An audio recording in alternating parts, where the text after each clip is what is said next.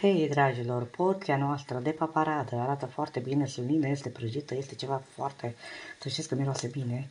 Cine mănâncă așa ceva, ne mâncăm foarte rar, dar și când mâncăm, mâncăm. Am prăjit slănina separat, pentru că nu așa ne place.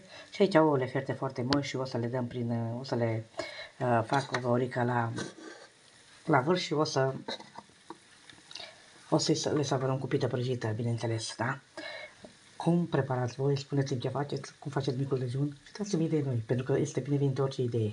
Vă mulțumesc din suflet încă o dată pentru distribuire, pentru abonare, cum spun de fiecare dată, nu uitați să vă abonați și, bineînțeles, un comentariu. Doamne ajută-l mai bine. Ceau, ceau!